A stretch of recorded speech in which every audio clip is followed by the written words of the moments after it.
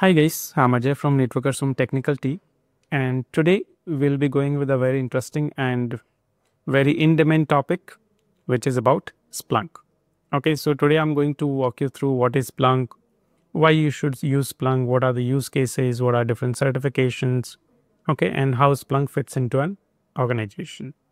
So let's get started. So first thing, let's talk about what is a Splunk. So Splunk is basically a powerful tool if you want to search, visualize and analyze your log data. Okay. So we know that what about logs? So logs are all the machine generated data. Okay. All the machines, they are generating a number of events and those events are getting recorded. That means basically anything happening in the system is what? A log. And those log messages, those are stored inside the systems. Correct? But how to analyze them. Let's say at a particular point of time at a later point of time you want to analyze it that okay what's going on in the device? Okay so you can do those things with the help of splunk. Okay and your splunk turns the machine data into actionable insights for it security business intelligence. Okay so splunk helps you to visualize that log data and make some in actionable insights out of it. Okay now that we know what is Splunk, okay, let's move into why you want to use Splunk. Okay, why somebody should be using Splunk. So there are a number of benefits for using Splunk. The first benefit is about real-time monitoring and alerting. Okay, like in a network, you might be having thousands of devices. Okay, but manually going and checking logs for all those thousands of devices or hundreds of devices is not possible. And each device is continuously generating logs that means kind of you can say like every minute thousands of logs are generate, getting generated. So it's not possible for a person to go and look uh, uh, look into the logs and you know analyze it and make something out of it. So what to do then? You can use splunk and splunk will do what splunk will perform real-time monitoring. That means as soon as the log message is generated splunk will start analyzing that log correlating that log and finding out the patterns in the logs that somehow is that particular log related to some sort of attack or any unauthorized access, right? Then advanced analytics and reporting. So this is another key benefit of Splunk that you are capable of performing advanced analytics on the logs and you are capable of generating reports. Then after you can talk about centralized log management. So you don't have to go and check the logs in all the different different devices. Splunk is the place where you will get all the logs. Okay? You can configure all your devices to forward logs to splunk right? So what will happen? All your network devices will be forwarding all the logs to the splunk. And splunk is where all those logs as soon as they reach splunk splunk will start analyzing those logs. If you want to manually check we can manually check the logs. Otherwise splunk is already investigating the logs. And is going to give us alerts whenever required okay? Because whatever the alerts you will configure you will configure certain condition uh, that if that particular condition is met then an alert, uh, alert should be generated right? So we can do that. Then splunk is what? Splunk is having features of an SIEM device which is about security information and event management. It has all the capabilities okay? And basically splunk itself is an SIEM tool only. And there are common use cases. You can use it for IT operation monitoring. You can use it for security analytics and business intelligence. Okay, everywhere Splunk fits in. Now, let's talk about what are the key features of Splunk. So some of the key benefits we have seen. Now we will be talking about the key features of Splunk. So first is what about data collection and indexing. So your Splunk is going to collect data from multiple sources. Okay, and it is going to collect logs, matrices, cloud and on-premise system from every single thing. Okay, whether the device is present locally or it is on the cloud, you can collect the logs. Okay, Splunk is capable of collecting the logs from there. Then Splunk is going to index the data. So indexing means basically Splunk is going to put the data into a standard format. We know that, okay, in a network, there can be a number of devices okay and number of devices means you might be having routers switches firewalls computers servers. Okay some of them might be running let's say computers. So some of them might be running windows and some of them might be linux linux systems mac os right? So different types of system will be generating logs in a different format and a different way. But what splunk is going to do is going to index the data and put the data into standard format. Okay? So data collection and indexing it is going to do. And for complex queries it is going to use the search language and Splunk has its own SPL that is Splunk processing language where you are able to make complex queries and data analysis. Like I said, we can manually search into the logs. So how you are going to search into the logs with the help of SPL queries. Okay, Splunk process lang uh, Splunk processing language queries, right?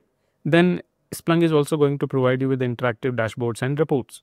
So whatever the things you are most likely to see and let's say are of more interest to you. So what we can do that particular searches we can make and we can save those searches as dashboards. So what will happen? Every day we don't have to go and make the same searches. We can just go and open our dashboard and everyday queries automatically made. We will be having more visibility into the logs.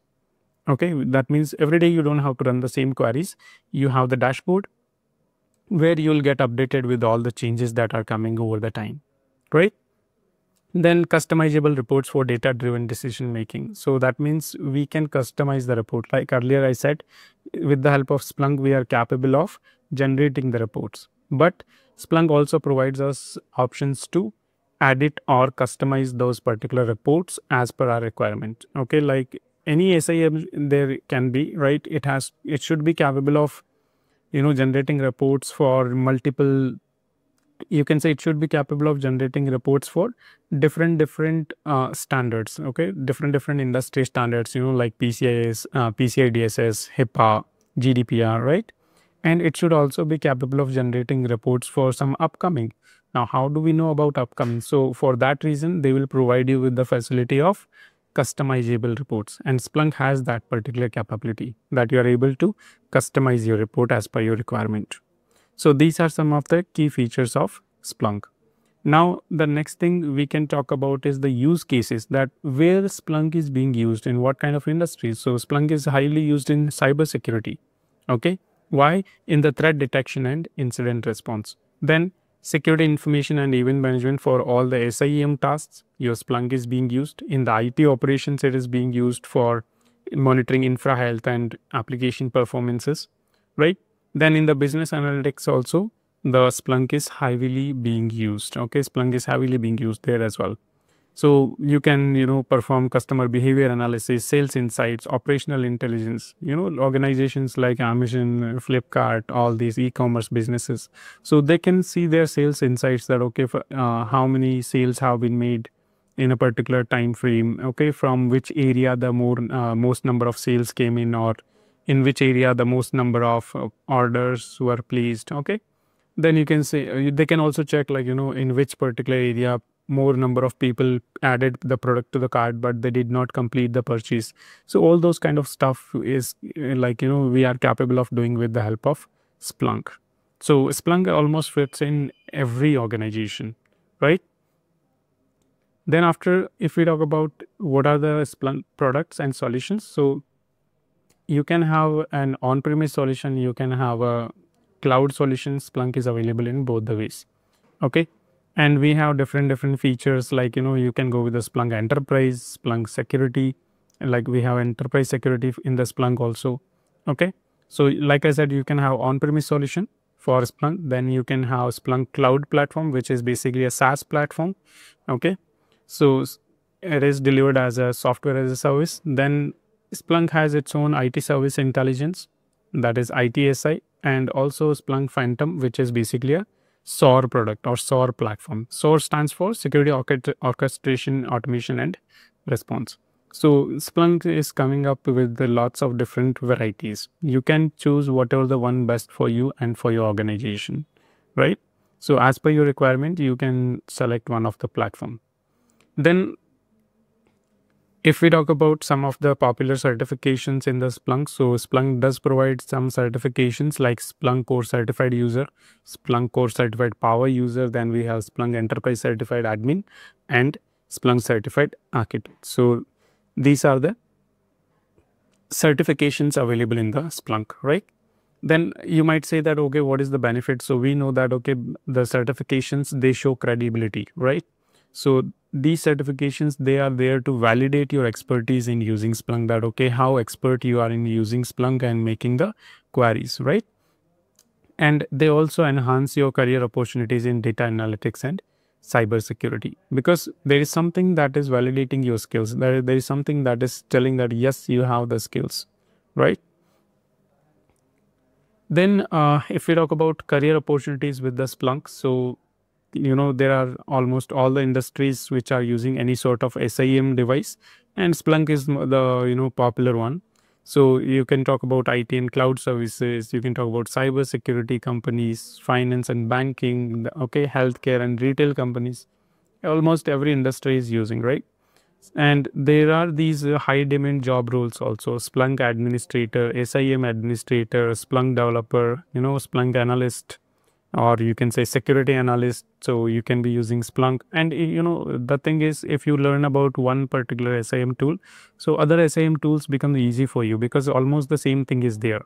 Okay just you will find that ui difference is there and a little bit of language difference is there. Otherwise most of the things are the same.